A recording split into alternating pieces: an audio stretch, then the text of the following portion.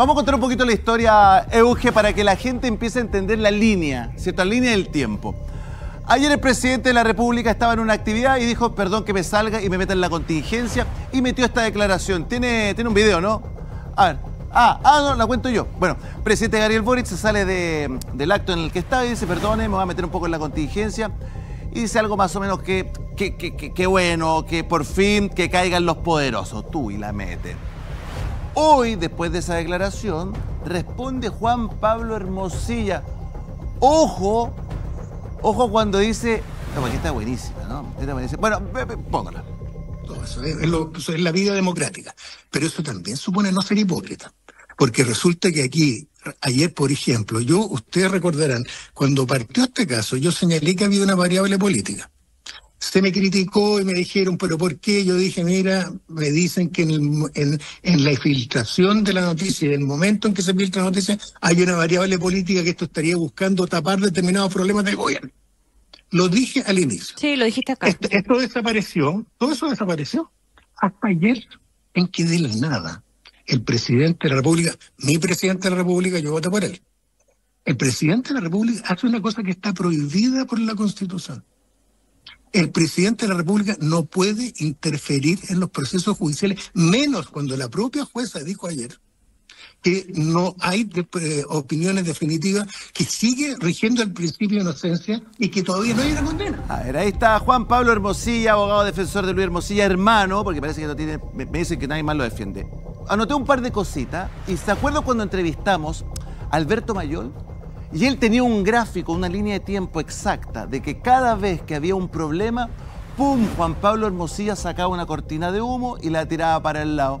Cristian Campos, Felipe Berrío. Entonces él dice, me parece que esto es una operación política y después, y después, y después dice, acá hay filtraciones. Filtra, cuando filtraban todo. A ver, a ver y que el presidente no, se debió haber pronunciado sobre esto. Ministros salen en defensa de Boric tras opinión sobre Hermosilla. El presidente está diciendo lo que dice todo Chile. Salió, salió Valencia, que ojo. Mira, mira, Eugenio, espera, vamos a Ojo que me la juego. No la puedo decir todavía, yo creo que Valencia sale salpicado. A ver, ¿qué dice Valencia? No, este es Vallejo. Vallejo, de, Vallejo defiende intervención de Boric en caso de Hermosilla el presidente ha dado en el clavo Y, y Juan Pablo Hermosilla tiró el mantel. A ver, ponga, la 22, a ver, vamos con la primera. Juan Pablo Hermosilla asemeja a Boric, Toá y Cordero con matones que pegan en el suelo. Ay, no, no, no, no. A ver, a ver, a ver, a ver, a ver. Pero este. no, malísima se tiró con todo. A ver, ¿cuál más dijo? A ver, ponle ¿En serio o no? Y se los digo yo todo esto con dolor, porque yo voté por este presidente. Yo no soy una persona de derecha. La gente que bueno se sabe que soy de izquierda y de izquierda dura. Yo voté por este presidente, yo me inscribí en Convergencia Social, fue de los giles que nos, nos inscribimos en Convergencia Social para que él saliera candidato y toparnos con esto ahora. Quiero recordar que el presidente de la República también es egresado de Derecho me, inscribí en Convergencia Social, soy de izquierda y de la dura, para que saliera presidente, pero está, entró en modo víctima total. Modo víctima. Espérate. Y según lo que me dijo mi mayor, este es consejero del Frente Amplio. Así es. A ver, paz. Que ha tenido el presidente Boric es que de dónde salieron de repente las firmas para que inscribiera su candidatura. Lo que él está diciendo ahí es que él se inscribió para que él se inscribiera como presidente. O sea, lo que está diciendo, ojo, que yo sé de dónde salieron las firmas o cómo te inscribiste como presidente. Este, pone el problema en primera persona, pero lo que acarrea detrás, lo que él quiere decir es que, ojo, que yo sé, así como yo, yo sé de dónde salieron todas las firmas donde... Pero no les parece, a ver, diputado Araya, y después paso para acá, ¿no les parece así como un poco jugado de parte de Hermosía así salir, pero tirar mantel y salir con. O sea, o sea me hundo y me, los llevo a todos. Es que él puede. Así, me los llevo a todos. ¿O no, diputado? A, riesgo de que se caiga el carne, han de echarte Tanax, Hermosilla. Han de echarte Tanax. Sí, tú eres abogado y lo que estás haciendo es llevar al plano comunicacional lo que es un problema jurídico. Y como no tienes argumentos jurídicos para defender todo lo que se ha hecho, inventa esta pelea mediática. Y aquí es muy sencillo lo que se ha hecho en este panel transversalmente. Muestren el teléfono ahora y todos los que tengan que salir salgan, den la explicación y si hay camino judicial, judicial, si es una cuestión ética, ética, si es juicio, lo que sea. Porque esta estrategia de ellos de amenazar, tensionar, es, tiene un manto de duda sobre todo. Entonces, ¿qué es lo que están haciendo inteligentemente Hermosilla? Decir que el Poder Judicial es todo corrupto para que nadie pueda juzgar a su hermano. Entonces yo quiero A ver, a ver, valorar diputado, a esa... ¿cuál, cuál es, cuál- Sí, cuál es pues. la que hay detrás? A Lo que está diciendo Hermosilla es que todo el Poder Judicial, la Fiscalía, son corruptos, por lo tanto, si juzgan a mi hermanito, él está mal juzgado. Que es la tesis que han levantado varios políticos cuando un amiguito está en problemas judiciales. Entonces, ojo con esto, yo quiero valorar lo que hizo la jueza ayer. Porque La si ustedes se fijan, cuando él dice, a mí no me gusta que me interrumpan, o sea, ¿qué te creí? Estás en un tribunal de la República, eres abogado, tienes que respetar lo que dice una jueza. Yo valoro muchísimo que sean jueces que no tienen gran, un gran cartel, gente decente, que tiene compromiso con la justicia, que mira, estos son los antecedentes, ¿en qué cabeza cabe otra situación distinta que la prisión preventiva? Arma este show mediático porque lo que tiene es un problema jurídico. ¿Cómo defiendes este hilo eterno que parte aquí, que no sabemos dónde va a llegar? Va a pasar de izquierda a derecha, de arriba a abajo, de gobiernos anteriores, futuro de los presentes. Pero aquí lo importante es que nuestro país se tiene que salvar a costa de funcionarios como la jueza de ayer, que no se arrugó, yo- con mucha prudencia hizo. Los fiscales yo- que han llevado esta investigación, fiscales que no son famosos, que están llevando investigación y que contra viento y marea, ahí está el señor Hermosilla. Llama la atención muchísimo que si la jueza lo manda a Santiago 1, o sea, era para el 12 de septiembre, 14 de Sí. septiembre la audiencia, pasó, no alcanzó a, a subirse al carro y ya estaba en Capitán Llaver. ¿Qué es lo que sabe? Los- no tengan miedo, si la verdad es lo que hace libre a la gente. Si alguien hizo algo incorrecto, que se sepa ahora y tendremos el juicio que corresponda. Pero Chile no aguanta esto de que voy a denunciar a no sé quién, porque Chile no es un país en que todos son corruptos. Toma, toma, toma Elwin. a ver. Mira, yo tengo algunas discrepancias contigo. Yo creo que este problema eh, tan jurídico no es, la verdad. Esto es un problema total y absolutamente político. Y es un problema político porque las salpicaduras que tiene, y Juan Pablo Hermosilla esto lo sabe perfectamente, por eso ha tenido una ofensiva comunicacional súper potente estos últimos días. Lo que, lo que tú decías, Gonzalo, hace un rato, tienes mucha razón en cuanto a que eh, en la entrevista de Alberto Mayor, que también eh, me cabe citarla, acá se relaciona Luis Hermosilla con la derecha, que Luis Hermosilla es el abogado de la derecha. Oye, pero no se olviden que Luis Hermosilla en esto está patrocinado por su hermano, Juan Pablo Hermosilla, por lo tanto comparten intereses en común y Juan Pablo lo que dijo en ese medio es, no se olviden que yo soy parte de este equipo. ¿Ya? Yo soy de lo suyo. O sea, cuando están pegándole a mi hermano, me están pegando a mí también. Y no tengo ni un problema en que si esto escala, nos vamos todos para abajo juntos. Y eso no es un tema jurídico, eso es un tema político, porque lo que él espera, lo que se espera de esto, es que las redes del sistema, que lamentablemente. Solo- yo- déjame terminar, por ver, favor. ver, lo yo- que se espera a es mí- que, a lo mí- que se espera de ya, esto aguanta un poquito, es que las redes poquito. operen para que esta cuestión Pero, se, se- se calle. Tomás, eh, me da la impresión que Valencia, me da la impresión que Valencia, viste que salieron diciendo como que no, vamos a ir sacando mensajes de a poco, ¿ah? como que no se mete en la investigación, da a entender un poquito, ¿no? Yo creo, y lo conversé con personas acá, yo creo que Valencia está salpicado. Mira, la verdad es que yo no estoy en condiciones de decir si Valencia está salpicado ¿qué- o no. ¿Qué dijo Valencia? Ahí dice, Valencia frena en seco a Hermosilla y asegura que decisión sobre abrir el celular del penalista se tomará cuando el caso lo amerite. Ahí tú tienes, ¿Cómo- se ahí interpreta tú esto? tienes- ahí tú tienes, Gonzalo, la evidencia más clara de que este tema con Luis Hermosilla y Juan Pablo Hermosilla, porque el problema es de los dos, es un tema que es más político que jurídico, porque si el miedo tal a abrir el celular de Luis Hermosilla es suficiente como para que el fiscal, eh, eh, como para que el fiscal Valencia diga, mira, vamos a ir de a poquito, en la Claro. circunstancia que lo amerite, eso faculta al fiscal para dejar fuera todas las cosas que en este momento nadie está mirando. Entonces, por eso eh, el, el llamado de Juan Pablo Hermosilla me parece pero, pero siniestro, porque lo que hace en el fondo es decir, miren, tengo aquí una pistola y estoy dispuesto a usarla. Y caen todos conmigo. Y perfecto, todos nos podemos sentar acá a decir, mira, sí, que muestre el celular y todo, y que se caiga, que se tenga que caer, pero la verdad es que políticamente estas cosas no funcionan así. El fiscal Valencia ha sido nombrado por el presidente Boric, que a su vez está asesorado en el segundo piso por Miguel Crispi, que tomó como abogado Hermosilla.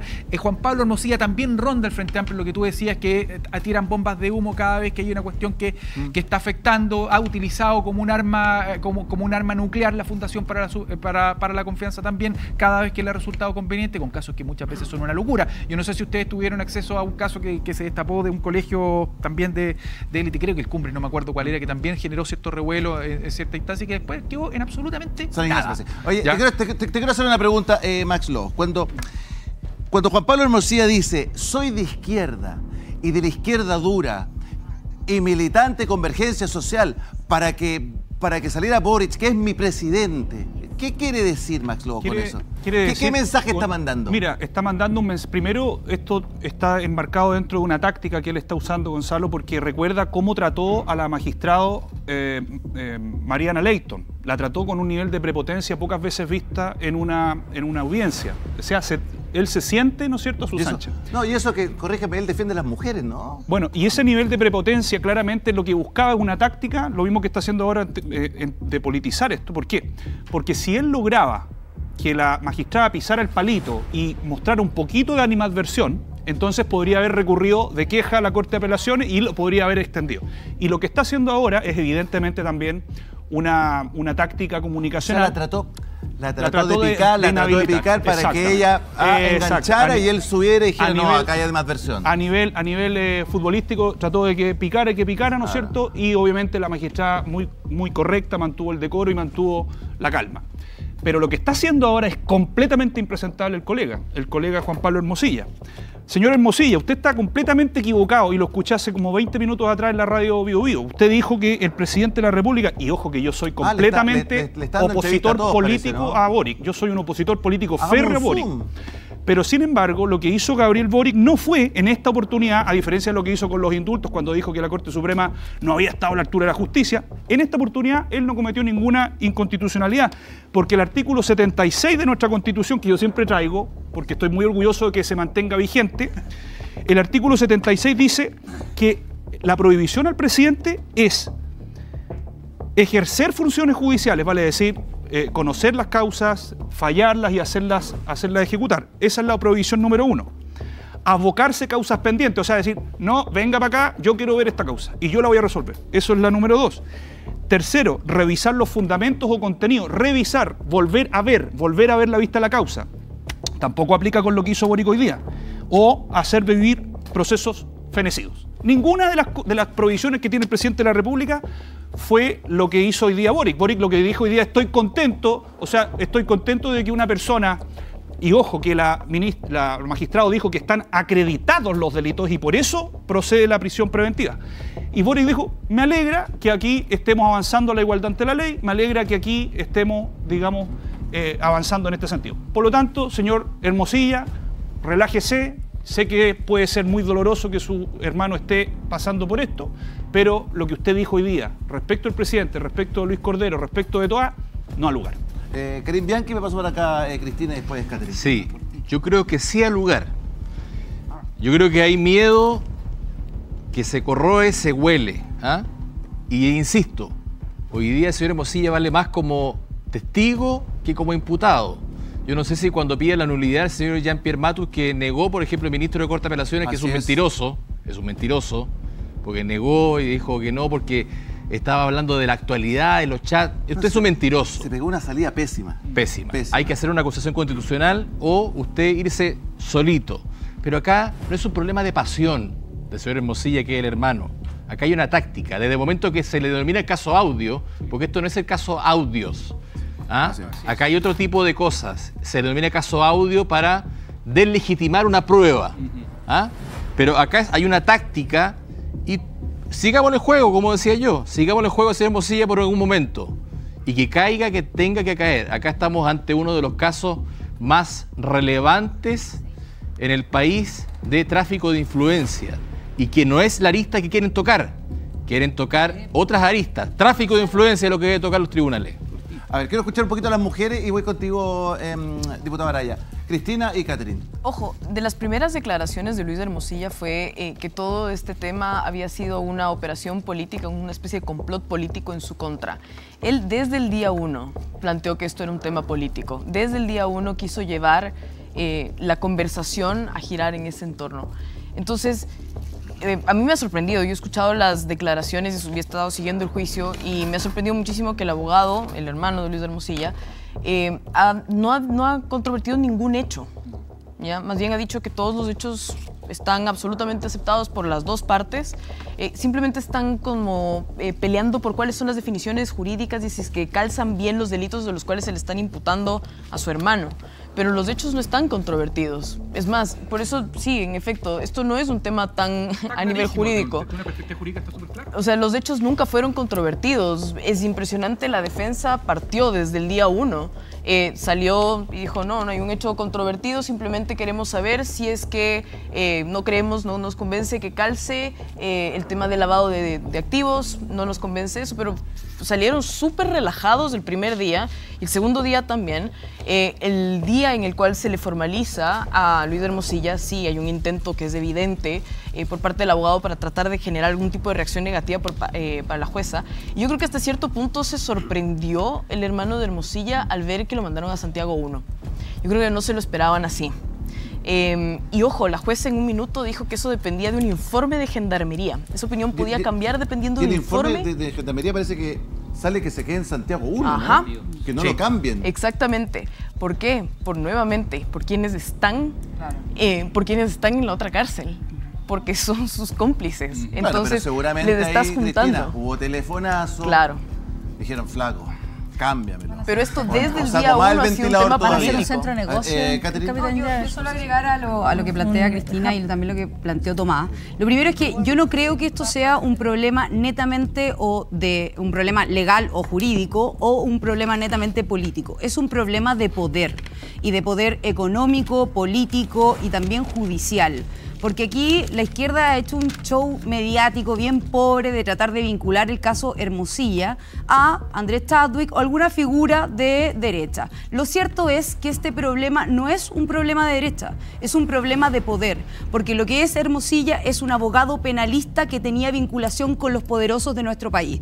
Tanto en el poder judicial, tanto en las policías, tanto en, a nivel económico con empresarios y tanto a nivel político, porque no solo ha defendido a personas de derecha, también es el abogado de eh, Miguel Crispi. Es, y si nos tenemos que poner a ver a quién le cargamos el muerto, o sea, militante del PC, hijo y militante del PC con el hijo fundador del Frente Amplio, o sea, abogado de Miguel Crispi y por sobre todo, o sea, hoy día acaba de decir que votó por Boric. O sea, dejemos de vincular a Hermosilla y a- o a la izquierda o a la derecha para cargar el muerto. Aquí el problema, aquí el problema es de poder, aquí es el problema es de poder, de corrupción y lo Un más dicho- grave. Un dicho que hay en política. A ver, un le voy dicho a- que hay en política. Sí, le voy a decir porque, porque esto que sé de derecha, de izquierda, pero uno de los dichos que yo he escuchado, ya no estoy en un partido político, entonces ya lo puedo decir libremente, los mejores negocios se hacen con el otro sector, no dentro de mi sector. A ver. Eso es en política. Pineda y después voy con el diputado. Oye, no, Mira, solo para cerrar, Gonzalo, es que para cerrar la idea, yo creo que es elemental entender la gravedad de esto, del poder y cómo corrompe las instituciones. Porque si un abogado penalista tenía trato directo con el director de la PDI, podía hacer favores, tenía una caja negra, ¿cierto?, para pagar favores, o sea, ¿cuántas cosas más se están corrompiendo y- en la justicia? y Catherine- ¿Y cuántos Ya. chilenos no tienen igualdad ante la ley? Porque hay abogados que pagan para Catherine, tener sentencia y- y- o tener eh, y- en los juicios. A ver, repita, a ver, ¿cómo, cómo, cómo? ¿Qué dijo? ¿Cuántos abogados qué? ¿Cuántos abogados hoy día están pagando favores para poder obtener beneficios en los juicios? ¿Cuántas personas de la contraparte de Hermosilla o incluso de eh, Juan Pablo Hermosilla? ¿Cuántas personas que han sido contraparte en sus juicios no tuvieron realmente justicia? Ahora, Igualdad pregunta- ante la ley. Eh, eh, que es un hay, hay una pregunta. Eh, mucha gente está diciendo que hay un silencio muy importante en el sector de la derecha. Eh, y también dicen, Bueno, y Andrés Chávez. ¿por qué no ha hablado si era su amigo? Compartían techo, ¿por qué? Por- Paulsen tampoco ha dicho nada. ¿Por qué están tan callados, eh, Catherine? A ver, yo creo que aquí hay muchos en silencio. Muchos, No, muchos pero en particularmente silencio. por, por el, por, el, Y por, yo por- creo que- por su coronel, le pregunto. Sí, no, yo creo que, bueno, coronel mío no es. Eh, yo formo parte de la UDI y en ello hay un montón de personas que forman parte del partido, que han entregado su vida también a defender ideas. Eh, Andrés Chadwick fue un Pero- gran ministro del pero Interior. como el creador del E independien- gremialismo, el hombre, ¿no? eh, e independiente de eso, e independiente de eso, creo que circunscribir, de verdad, vuelvo a reiterar, el problema de lo que se ha destapado con Hermosilla a un sector, a una persona que compartía techo para poder trabajar, que era abogado, etcétera, creo que es disminuir esto, hacerle un show político y no atender al problema que esto causa para los chilenos. ¿Cuántos chilenos hoy día no están teniendo igualdad ante la ley porque hay personas que tienen cajas pagadoras de favores, como por ejemplo aquellos que contratan a más de 14 mil militantes del Frente Amplio y del Partido Comunista en cargos públicos, ¿qué favores estarán pagando? Porque eso es lo que hoy día está pasando en Chile. Se corrompe el, Sí, con el que- lo que poder pasa- porque se pagan favores sí, está bien, está bien, políticos Lo que pasa es que, lo que, pasa es que, es esta va a ser, va para allá, va para Sí. acá, es que del Partido Comunista que votó por Boris, y que aquí, y esto, muchachos, esto va a ser así, tuya, mía, tuya, mía. A ver, Yo eh, diría que es más eh, importante ver los hechos. A ver, eh, la mano a eh, nadie, es ojo. cierto que el, el problema de Hermosilla puede salpicar a mucha gente y eventualmente llega hasta el segundo piso y luego Sí, nos encontramos de chat es que, que va a estar. Pero es que el rol de Chadwick no es menor porque es uno de los principales involucrados hasta el momento con los chats filtrados. O sea, si hubiesen otras personas involucradas no tendría problema de nombrarlas. Incluso el otro día fui bastante prudente respecto al rol de Sichel, porque una cuestión es tener una posición política contraria e incluso saber que son parte de las estructuras de poder y la otra es acusarle que cometió un delito. Lo de Chadwick es mucho más claro respecto a los antecedentes. Hay pagos irregulares ¿Qué de irregulares? cerca de ¿Cuáles pagos 190 irregulares? millones de ¿Cuáles pesos, los cuales ni ¿Son siquiera ha dado irregulares? ¿Son irregulares? ¿Tú, Sí. tú sabes que son irregulares? Pues Te lo digo porque lo que La estás Fiscalía diciendo Nacional no lo sabes. abrió una investigación en contra Andrés Chadwick. Ese es un hecho concreto, lo mismo que ocurrió con ¿Son Manuel Guerra, pero yo diría que la diferencia, ¿Son por irregulares? ejemplo, Te vuelvo a preguntar, fue- ¿son irregulares? Sí, son irregulares. Ah, para ti son irregulares. No, para la Fiscalía ¿Cuáles son Nacional. las pruebas de que son No, irregulares? ¿Cómo Nacional, sabes que son no irregulares? Fiscalía Nacional, por favor, mira, las pruebas son evidentes. Yo creo que algo que demuestra la diferencia hasta el momento entre Tomás y la tuya es que Tomás escuchó recién que Manuel Guerra probablemente estaba involucrado en hecho y lo desechó. Tú sigues defendiendo a Andrés No estoy defendiendo a nadie. Lo que digo es que cuando hagas una acusación tengas pruebas, porque Ya, lo que si se está haciendo hoy día, lo que se está haciendo hoy día es una investigación. pagos, ¿por Hay muchas personas sobre, pero, pero sobre el libro, el libro de Gonzalo Blumel, que está muy comentado, en donde él habla. Mostró que era uno En del donde él habla y-. Donde se da una vuelta larga, digamos. Pero no. No, no, él en una página como que destaca, porque ojo, que es curioso, porque Gonzalo Blumel destaca el rol de Hermosilla como que lo sube a un altar, dice, gracias a Dios teníamos Sí, era como uno, de nuestros hits. ¿Cómo, cómo, cómo la llevan eso? Eh, Oye, no, es que espérame, espérame Tomás, un, un- un pequeño minuto porque Por dicen después que la derecha se queda callada. La cuestión es bien simple. El poder corrompe y corrompe sin distinciones políticas. El que esté metido, el que tenga chat, el que tenga cuestiones irregulares, va a tener que pagar. Porque la justicia, se entiende, ¿cierto? Es igual para todos.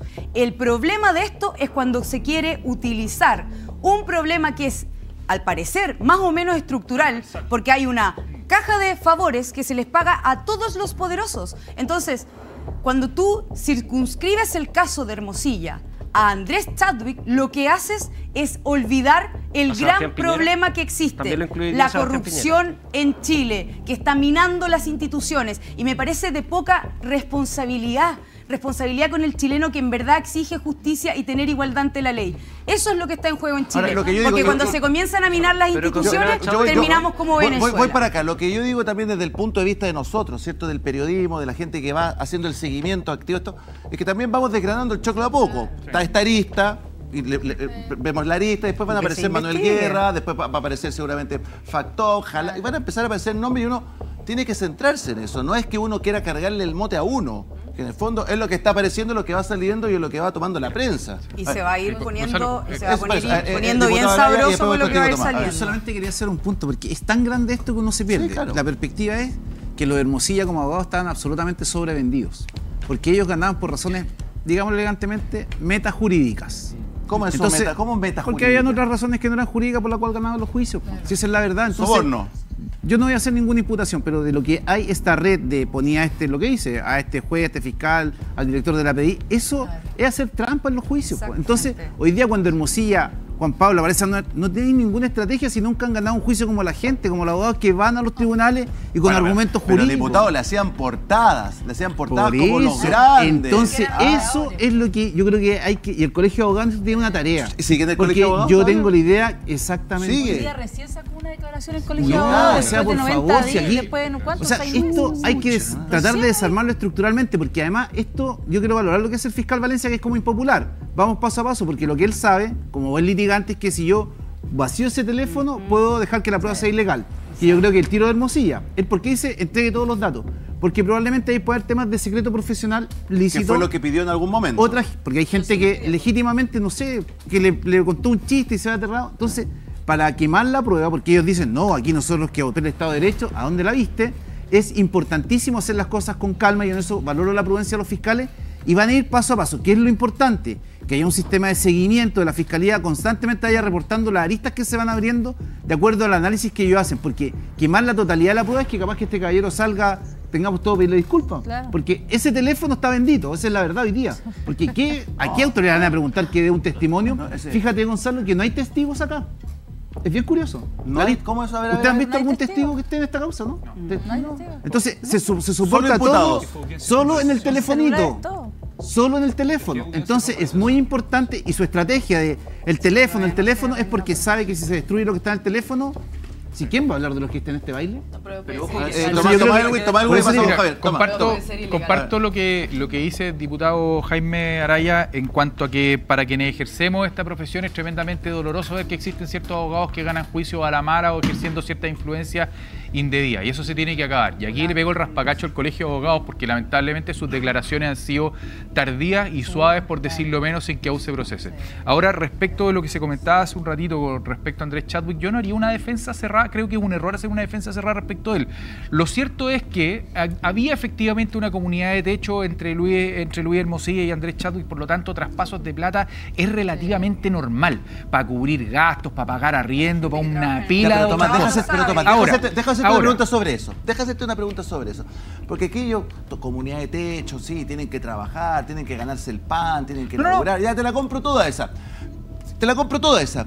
Pero si tú me dices que vaya a ser socio o comunidad de techo con Hermosilla, digo, es como, no sé, digo, A ver, como tener una pyme con la cuca, no sé, Andrés, te Chadwick, Toda la Chadwick, y, y- y Luis Hermosilla son, son íntimos amigos hace muchísimo tiempo.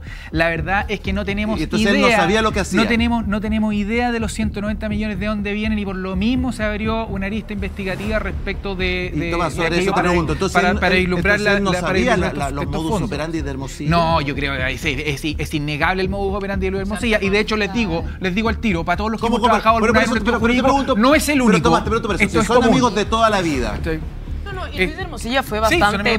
o sea, él, él hacía mucho bluff de cómo trabajaba. ¿ah? En los mismos audios se escucha que él decía Claro. que tenía contacto con todo el mundo y podía hacer cualquier cosa. Si se lo decía a Mm. sus secretarias, sus clientes, seguramente también Andrés Chadwick lo tuvo que haber escuchado.